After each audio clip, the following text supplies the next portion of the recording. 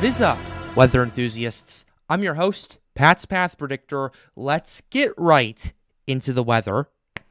All right, so here's the situation for you guys. Invest 92L is organizing at a very quick pace right now. We're starting to see increasing th- thunderstorm activity towards the center of circulation. We're also starting to see more pronounced rotation, more pronounced outflow with this system going on, and the NHC is picking up on this too. They have now upped the probability to an 80% chance of formation in the next seven days, 60% in the next 48 hours. So there is now more than a 50 50 chance of this thing developing as quick as tonight if it wanted to. So that's something that we're looking at right here. Uh, A tropical depression is likely to form by the early to middle portion of next week. Honestly, considering what I'm seeing right now, I wouldn't be surprised if this develops by tomorrow morning or tomorrow afternoon at this rate. Tonight's really going to be key on what happens because the quicker that this system is going to develop, the the basically the more time it has to organize, the more time it has to strengthen essentially, and it has plenty of warm water, which is right here, 28 plus degrees Celsius. Plenty of OHC once it gets to the western part of the uh, main development region, and the shear where it's going to be in intercepting, at least right now in the eastern Atlantic, it's there's not really that much shear at this current time. So if it can continue to capitalize off of all of this stuff, it will absolutely do uh, do something right there. Now we're going to go ahead and show you what we have right here. We have the latest information. Once again, still 20 knots of wind.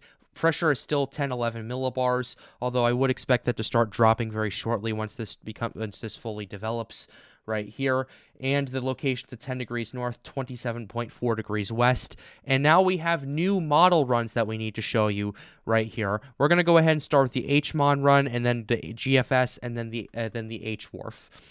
The HMON run has things developing very quickly, potentially within the, uh, potentially within the next 15 hours or so, 10 to 15 hours.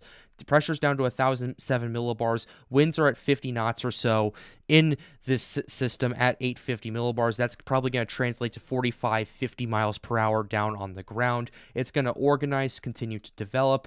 Right here, potentially starts acquiring hurricane strength within two days, according to the HMON, and it starts developing a very decent core, according to this, as this is approaching the Lesser Antilles right here. And by five days out, we're at one, 986 millibars. Winds and winds almost 90 knots at one at 850 millibars, which is about 5,000 feet up.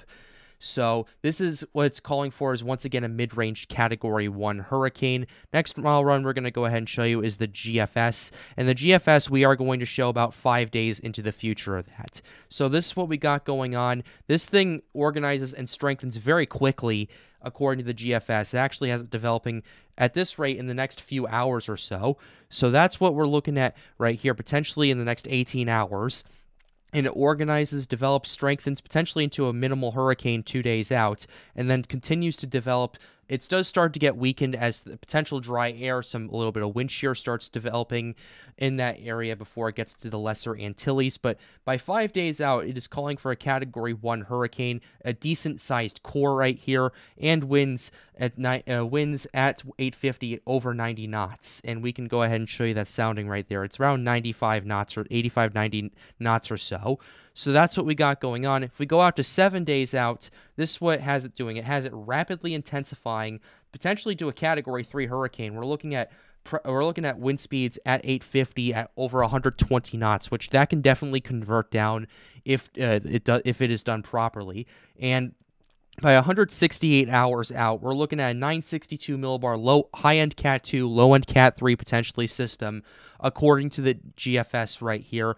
Last one we're going to go ahead and show you is the HWRF. The HWRF is pretty aggressive, but right now, considering how quickly this is developing, I wouldn't be surprised if this verifies, at least for the next 24 hours, because the next 24 hours actually has this organizing and developing, and the and the winds but at 850 are over 70 knots in some of these areas. The winds down to the surface, according to the sounding as we are about to pull up, it's around 50, 60 knots or so.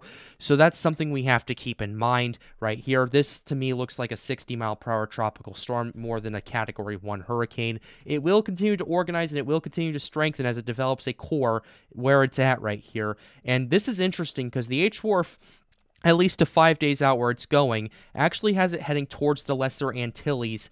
And you can see at the last bit right here, it potentially, if it continues at this track, it'll continue moving through into the Leeward Islands. And we have the track mile right here. The HWRF is right pretty much right here. This is where the Lesser Antilles. Now, if that if that Bermuda high that is pretty much up here, if that is stronger than antici- we anticipate, definitely could lead some, to some impacts in the Leeward Islands at least. Maybe even the Virgin Islands, but we'll not get there just yet. We'll have to wait and see when it comes to that. We're still about seven days or so away from impact, but we are going to continue to update you here on the Pat's Path Predictor channel about this invest, about this thing developing and organizing very quickly.